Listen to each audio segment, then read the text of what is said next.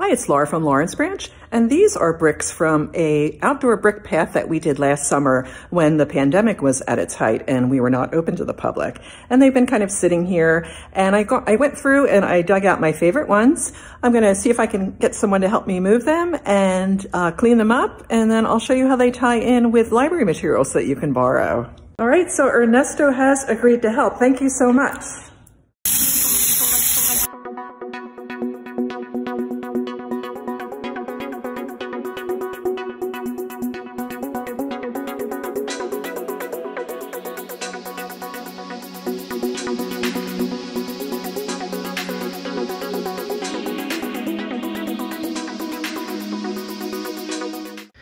Okay, so the dirty work is over. Um, I cleaned them up. They're not perfect, but they're better. These were outside all winter, six months or more, through uh, snowstorms and winter weather. And of course, we had them face down so the children were able to walk on them. And though I did do a sealing coat, some of them held up better than others. Some of them didn't hold up at all. But for the most part, they held up and they'll always remind me of the pandemic, of course.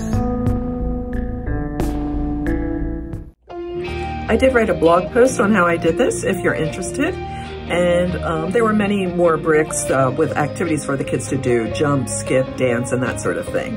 Um, but the crux of it was that I wanted it to reflect um, the library. So that's why I chose a lot of um, book covers to do with the artwork. And so now I'm just gonna show you some of the books that tie in, not all of them.